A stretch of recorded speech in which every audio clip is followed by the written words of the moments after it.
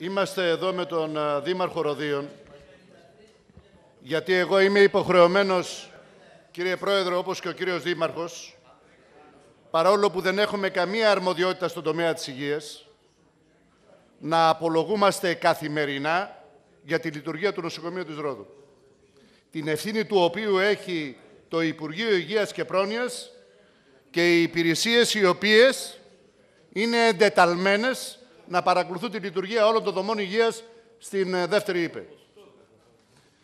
Κύριε Πρόεδρε, εάν δεν λειτουργεί καλά το νοσοκομείο της Ρόδου, δεν φταίει ούτε ο Περιφερειάρχης, ούτε ο Δήμαρχος. Είναι δουλειά του Υπουργείου και είναι δουλειά της ΥΠΕ να λειτουργεί σωστά. Αυτό το οποίο ξέρω εγώ είναι ότι το Νότιο Αιγαίο δεν έχει καμία σχέση με τη Συριανή Ελλάδα. Το 50% του τουρισμού της χώρας είναι σε αυτή την περιοχή.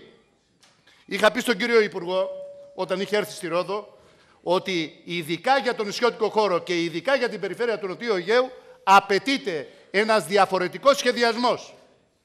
Και γιατί το λέω αυτό; Ξέρετε ότι η βιτρίνα της χώρας μας είναι το Νότιο Αιγαίο. Δεν μπορεί να αντιστοιχεί ένας γιατρός ανά 34.000 επισκέπτες στο νησί της Σαντορίνης. Για να μην πω τη Ρόδο, όπου στη Ρόδο τα στοιχεία λένε ότι αναλογεί ένας, ένας γιατρός ανά 9.000 επισκέπτες. Πρέπει η πολιτεία να φροντίσει, μιας και ο τουρισμός είναι το συγκριτικό πλεονέκτημα που έχει η χώρα και είναι ο στυλοβάτης της οικονομίας μας, ότι πρέπει να υπάρχει η αντίστοιχη στελέχωση σε όλες τις δομές υγείας στο Νότιο Αιγαίο. Αν κάνει καλά τη δουλειά του ή δεν κάνει καλά τη δουλειά του, αυτός που έχει την ευθύνη δεν την έχει την αρμοδιότητα ούτε ο Περιφερειάρχης ούτε ο Δήμαρχος. Θα παρακαλούσα λοιπόν κύριε Πρόεδρε να λειτουργήσουν τα χειρουργεία στο νοσοκομείο της Ρόδου. Δεν φταίει ο κάτοικος κανενός νησιού εάν υπάρχει πρόβλημα στην διοίκηση του νοσοκομείου ή στη διαχείριση των προβλημάτων του νοσοκομείου.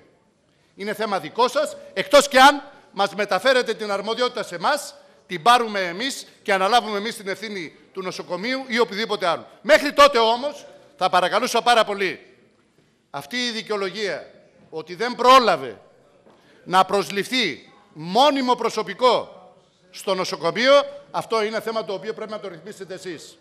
Μόνιμη λύση στο πρόβλημα και όχι εμβαλωματικές λύσεις με συμβασιούχους μέσα στους οποίους είχα εμπλακεί και εγώ σαν Περιφερειάρχης. Για να μην βάζω έξω την ουρά μου λέω το εξής.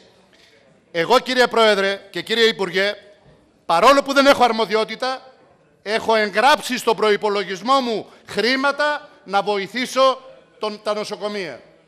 Όπου μου ζητηθεί. Τρέχω από το πρωί ως το βράδυ, προκειμένου στην περιφέρεια Νοτιού Αιγαίου, που μαζί με την περιφέρεια Βορείου Αιγαίου είναι οι μόνες περιφέρειες που δεν έχουν πανεπιστημιακό νοσοκομείο. Όλες οι άλλες έχουν. Γι' αυτό και όταν ακούω διαφόρους συναδέλφους μου να μιλάνε για υγεία, τους λέω δεν υπάρχει περιφέρεια στη χώρα που δεν έχει και πανεπιστημιακό νοσοκομείο. Δύο, δύο είναι οι περιφέρειες που δεν έχουν. Το Βόρειο Αιγαίο και το Νότιο Αιγαίο. Όλα, και η Στερεά Ελλάδα. Η Στερεά Ελλάδα όμως, αγαπητοί κύριε βουλευτές, αγαπητοί κύριε βουλευτές, ο νησιώτικος χώρος, το ξέρετε, για να μπορέσει να μετακινηθεί... Παρακαλώ ησυχία. Ησυχία δεν είναι δυνατόν. Και τελειώνω. Παρακαλώ Αν μου επιτρέπετε ησυχία. και τελειώνω. Στη στεριανή Ελλάδα, αγαπητοί κύριοι Ησυχία. βουλευτές, έχει τη δυνατότητα ο οποιοδήποτε πολίτης μέσα σε μικρό χρονικό διάστημα να Ησυχία. μετακινηθεί και να βρει όποιον γιατρό θέλει. Στο νησιώτικο χώρο αυτό δεν υπάρχει. Άρα θα παρακαλούσα πάρα πολύ ιδιαίτερη ευαισθησία στον, στην, στο Νότιο Αιγαίο όπου υπάρχει η οικονομία αυτή τη στιγμή. Προσβλέπουμε όλοι στον τουρισμό που είναι πυλώνας της οικονομίας μας και άρα ξέρετε πολύ καλά ότι ένας παράγοντας που επηρεάζει την έλευση των επισκεπτών είναι αν υπάρχουν και δομές υγείας σωστές. Άρα θα παρακαλούσα πάρα πολύ κύριε Υπουργέ και απευθύνομαι σε εσάς Συγγνώμη. και το ξέρω ότι Ησυχία. καταβάλλετε τεράστια προσπάθεια. Θέλετε πραγματικά να κάνετε, αν θέλετε, ένα εθνικό σύστημα Ησυχία. υγείας το οποίο να μπορεί και να λειτουργεί αλλά και να μην επιβαρύνει πάρα πολύ. Κύριε Υπουργέ, στο Νότιο Αιγαίο των 48 νησιών, εκεί δεν χρειάζεται η Ησυχία. πολιτεία να εξαντλεί όλη την αυστηρότητά της σε ό,τι αφορά τη στελέχωση των υπηρεσιών. Είναι ανταποδοτικό, κύριε Υπουργέ. Ένα δίνετε, εκατό θα λάβετε.